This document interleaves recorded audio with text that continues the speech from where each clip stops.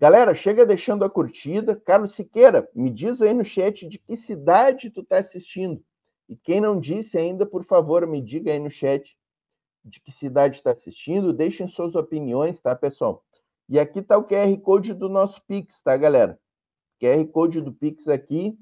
Estamos com o clube de membros também, tá? Clube de canais. Seja membro, ó. clica aqui no Seja Membro. A partir de R$ 1,99 você pode se tornar membro aqui do canal. Não tem nenhum membro novo nessa live, tá, pessoal? Vamos, vamos se cadastrar ali, vamos, vamos se tornar membro aí do canal que, que ajuda bastante aí o nosso trabalho. O Lorde Brimo aqui, ó, é membro, a Regina Alves também. Então, vamos agradecer a galera que está tá pegando junto aí. E vamos avançar, né, pessoal? Vamos avançar. Aqui, Próxima pauta. No dia de ontem. Por que, que Moro não foi caçado no dia de ontem? Na realidade, antes de ontem, né? Pergunta aí do Leonardo Atush, que será respondida pelo nosso grande camarada, nosso mestre, né? Alisson Mascaro. Como eu gosto quando eu tenho oportunidade de trazer o Alisson Mascaro para o nosso debate. Né? Não, olha, gente, eu não assisti esse vídeo ainda, mas eu tenho absoluta certeza que eu gostarei e concordarei com o professor Alisson Mascaro, porque esse é mestre dos mestres, né? Mestre dos mestres. O, que, o título desse vídeo, pessoal, olha o título que o Cortes 247 deu. O corno de sempre é a esquerda liberal.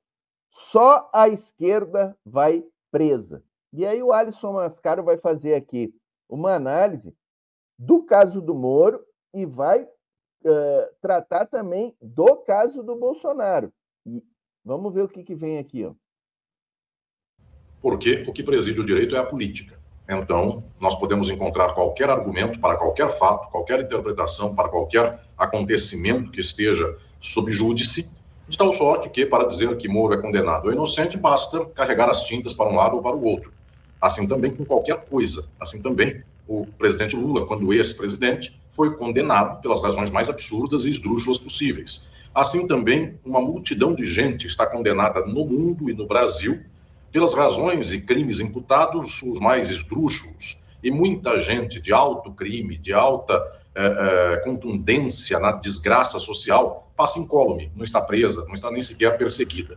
Então, isto é uma prova, eu diria que é, cabal, mais uma vez, fica patente, algo que é muito visível, que é muito notório, que as instituições elas não são neutras, técnicas, imparciais, elas sobem num pedestal e do alto da Torre de Marfim elas olham o mundo, as leis e dão seus julgamentos independentemente da realidade. Um fato como esse, uma circunstância como essa, escancara a situação de que todas as instituições políticas e jurídicas das sociedades capitalistas são controladas ao cabo, no limite, pelo capital, são controladas pelo domínio que organiza a exploração da sociedade. Não precisam fazer o discurso de que isto seja algo muito típico ou exótico do Brasil. Isto é em qualquer sociedade capitalista. Nós verificamos, por exemplo, o que acontece com Julian Assange na justiça da Europa, da Inglaterra e dos Estados Unidos, para observarmos que o capital julga como quer, encontra gente para aplaudir e busca convencer as massas de que aquilo que é uma flagrante injustiça deva ser chamada por justiça. Está faltando análise marxista. Perfeito, né? Perfeito, professor Alisson. O judiciário, ele julga para tudo que é lado, pessoal, para o lado que convém. E sempre é bom a gente lembrar, né? O, o Estado é o comitê de organização dos negócios da burguesia, tá, pessoal? Isso é o Estado. Nós, comunistas, defendemos o fim do Estado, o fim das classes sociais e o fim do Estado. Uma sociedade não tem que ter classes sociais, todos têm que ser proletários trabalhadores. É isso né, que o comunismo defende. O judiciário, o que é o judiciário? É o legitimador das ilegalidades cometidas pelo Estado, pela burguesia. É para isso que serve o, o, judiciário. Então, assim, como bem colocou o Alisson, ele vai para qualquer lado que interesse a burguesia, não importa ele tem papel e tem uh, retórica para defender o que a burguesia quiser. Então tá aí, por isso que o Moro foi absolvido, porque as práticas irregulares do ponto de vista da legislação eleitoral eram evidentes. O Moro só foi absolvido porque interessa, interessa a burguesia neste momento. E o mesmo a gente pode esperar para o Jair Bolsonaro. Por que, que o Bolsonaro ainda não é réu? Por que, que a Carla Zambelli já virou réu? Porque a Carla Zambelli não interessa mais a burguesia. Já foi completamente descartada. Pelo contrário, está atrapalhando a burguesia com as coisas ridículas que ela diz no parlamento. Então, a burguesia, os grandes detentores do poder no Brasil já deram sinal verde para a condenação da Carla Zambelli, para ficar como um baluarte. Olha, viu como o judiciário funciona? A Carla Zambelli foi condenada. Mas o Sérgio Moro e o Bolsonaro ainda não foram completamente descartados pela burguesia. Então é por isso que o Moro foi absolvido. O Bolsonaro Olha, gente, eu já, já tive mais crença de que ele seria processado e responsabilizado. Já começo a acreditar que tem um grande acordão aí na jogada, hein? Mas vamos ver aqui, o Atush tava, vai perguntar aqui sobre se está faltando análise marxista. Eu já adianto, com certeza falta análise marxista para a nossa esquerda. Marxista na esquerda brasileira? Totalmente. É, o que eu tenho falado aqui há anos, querido Leonardo, e tenho clamado, inclusive, sobre a urgência deste fato, cada vez mais fica mais desesperador observarmos que o âmbito do que se chama de esquerda, que está, eu diria, gostosamente confortável com é, a eleição de 2022, é, se vangloria de poder ter empurrado com a barriga um pouquinho a extrema-direita para mais longe. Esta forma de pensar, que acredita nas instituições, que acredita na ordem, que acredita que o direito dará conta do recado, isso é de uma ilusão atroz, porque no final das contas já faz um ano e meio que nós estamos desperdiçando tempo, um ano e meio de governo, porque deveria ter sido isso já de muito tempo atrás. Mas faz um ano e meio que nós estamos desperdiçando tempo sem mobilizar as massas, apostando, portanto, em acordos, pactos, é, que chegaremos a uma certa situação na qual a poeira baixará, então as partes do mundo, do jogo da, da política não brigarão entre si, haverá uma certa concórdia, e tudo isto é só um empoderamento cada vez maior da direita, cada vez mais, inclusive, sem fazer muita distinção entre esta extrema-direita de maus é, hábitos, tosca, que não sabe comer com talheres, e entre essa esquerda, esta direita, melhor dizendo, a extrema-direita e a direita desta de muita funcionalidade neoliberal, exemplificada pela Faria Lima, que está cada vez mais tomando as rédeas do país sabendo que ela não tem voto nenhum, sabendo que ela não tem condução nenhuma imediata da política, ela não é agradável, ela não é simpática. Quem votará numa pessoa da Faria Lima? Quem pessoa em sã consciência do povão, passando fome, vota numa pessoa de um coletinho sem manga, que circula na Avenida Faria Lima para às duas da tarde comer temaki? Essa pessoa não é popular, ela não vai ganhar votos de quem está na periferia, no subúrbio. O Alisson é sensacional nos exemplos, né? É, ele deixa bem exposto aí quem é a burguesia brasileira, né? Os Faria Limers. Nas grandes cidades, passando fome, nas circunstâncias mais difíceis. Então, o melhor jogo que se encontrou é, de vez em quando, este predomínio neoliberal do país, do mundo, joga com a extrema-direita. Então vem essa figura de francaria que governou o país agora há pouco, antes dela veio um governante aí golpista, e assim se governa. E, do outro modo, quando isso também se esgarça, governa o neoliberalismo capitalista com este espaço das esquerdas institucionais, das esquerdas liberais, que fazem o serviço para o neoliberalismo e não tem que desgastar é, bom, alguns, não tem que gastar alguns cartuchos como esses da pessoa que grita de manhã, vou dar um golpe, me segura que três da tarde eu vou dar um golpe, coisas assim. Então, efetivamente, o que se passa é um quadro no qual a esquerda, ao não apostar na mobilização das massas, ao não apostar efetivamente em ser esquerda, porque ser esquerda é levantar o povo, levantar a classe trabalhadora. Ao não falar algo nesse sentido, ao não se encaminhar para o socialismo, ao não conseguir falar contra o capitalismo, é refém do neoliberalismo. E o neoliberalismo é esse grande pacto que organiza o Brasil, que vai de um lado pelo Temer até do outro lado ao extremo do especulador da Faria Lima e passa pelas instituições, passa pelos tribunais, de tal sorte que o governo é feito hoje pela Faria Lima. Esse acordão vai chegar à liberdade do Jair Bolsonaro? Tá aí, pessoal. Isso que ele falou antes ali é extremamente importante, né?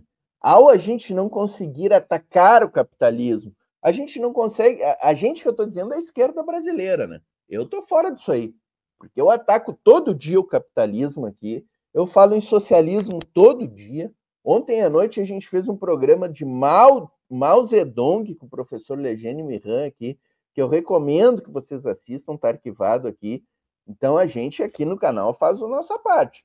Agora, a esquerda brasileira, a grande esquerda parlamentar, e o próprio governo Lula não consegue atacar o capitalismo, não, não usam a palavra socialismo.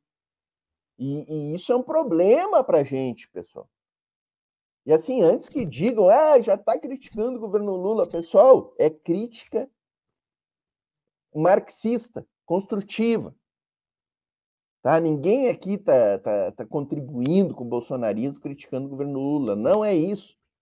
É só expor esta falha do nosso campo de se aliar com, com, com, com, com os liberais. Esquerda liberal não ajuda, pessoal, na luta da classe trabalhadora. Vamos ver aqui, ó. Agora, essa, esse final do vídeo aqui, o Atush perguntou se a absolvição do Moro pode eh, dar tintas aí de que o Bolsonaro também será anistiado.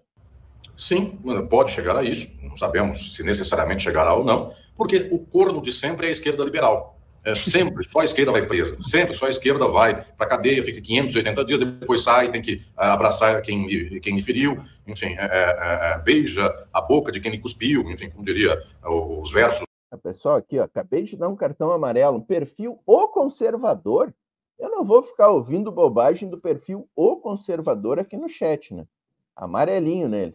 Como diriam os versos do painazanismo, do simbolismo. Então, é sempre isso. O corpo de sempre é a esquerda liberal. A esquerda é destroçada pelas instituições, é destroçada pelo capital. Na hora que deixam o destroço levantar um pouquinho, ela vai lá e abraça o capital, vai lá e abraça as instituições, para dizer agora eles não vão mais me ferir. Aí vem um acordão inteiro que tem que dizer que ninguém vai preso a não ser a esquerda. Sempre foi assim. Então, no que temos nesse quadro é mais uma vez a repetição do mesmo, que inclusive isso é psicanalítico, isso é um dado de base inconsciente, é a repetição nos termos psicanalíticos, vista já por Freud, por Lacan, não muda. O dado psicanalítico sempre é este, é uma pulsão que se organiza pela repetição. Sempre quererá que aquele que fere a esquerda, a partir de um certo momento, não fira mais, então a esquerda agrada ao seu inimigo, é a síndrome de Estocolmo, para fazer com que, quem sabe, esse que, que fere a esquerda possa gostar da esquerda. Então, de alguma maneira, estou dizendo aqui que não haverá sequer aquele padrão de simetria para dizer Lula ficou 580 dias na cadeia, vamos deixar o Bolsonaro 580 dias na cadeia. Não tem simetria nenhuma. Não tenho essa expectativa. O Bolsonaro pode ir para a cadeia? Pode. As circunstâncias de levá-lo à cadeia são, se for muita vergonha, se descobrirem por aí que joias e coisas mais não dá para esconder mesmo alguma coisa desse nível, se então para esta esquerda do capital, a neoliberal, ela perceber que ela já tem braços e pernas para não precisar mais do Bolsonaro, porque a grande questão não é ver se tem joia ou não enfiada é, é, no bolso de alguém. É, a questão fundamental não é essa da joia, porque a pessoa pode dizer, essa joia não é minha, eu emprestei do meu vizinho. Qualquer coisa dessa dá para argumentar. A questão decisiva é se o capital quer ou não quer Bolsonaro e o bolsonarismo. Gente, assim, ó, de novo agradecendo o Cortes 247, tá? Pela, pelo excelente trabalho que realiza e por permitir que a gente repercuta aqui os vídeos deles. E assim, né, pessoal? Ouçam o professor Alisson Mascaro. Ouçam o professor Alisson Mascaro. O que vai determinar a prisão do Jair Bolsonaro, a prisão do Moro, do Dallagnol, que já deveriam estar sendo processados, talvez já deveriam até estar condenados por traírem o Brasil, por quebrarem as nossas indústrias, eles cometeram diversos crimes. Isso não sou eu que estou falando, é o Gilmar Mendes, é o relatório do, do Luiz Felipe Salomão no CNJ. Está lá, está descrito todos os crimes cometidos por Moro, por Dallagnol, individualizados lá no relatório do CNJ. Mas quem vai determinar se essa gente será presa ou não, será processada ou não, é os interesses do capital. É os interesses da burguesia. Ouçam o professor Alisson Mascaro, pelo amor de Deus, ouçam mais Alisson Mascaro, tá, pessoal? Mais Alisson Mascaro, menos esquerda liberal. É isso, tá, pessoal?